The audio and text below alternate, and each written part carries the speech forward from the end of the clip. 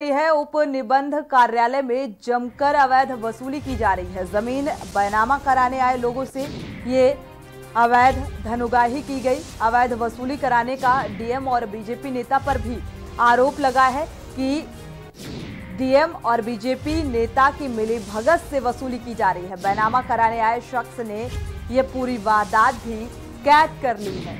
बड़ी खबर, अवैध धन उगाही की ज़मीन बैनामा कराने के नाम पर लोगों से अवैध वसूली की जा रही है और इसका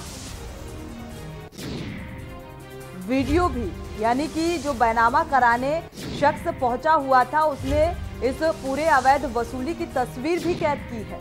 कुशीनगर से बड़ी खबर है, उप निबंध कार्यालय में जमकर धन उगाही की जा रही है। जो लोग वहाँ पर ज़मीन बैनामा को लेकर जाते हैं, उनसे अवैध वसूली की जाती है।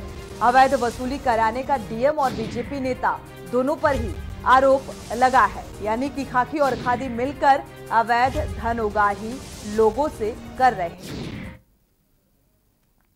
तो आप ये तस्वीरें भी देख सकते हैं। कुशीनगर की ये तस्वीर, जहाँ पर ज़मीन बैनामा के नाम पर अवैध धन उगाही की जा रही है।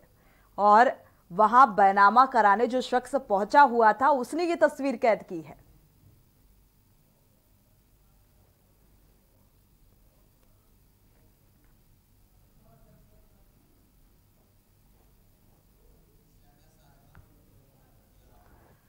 और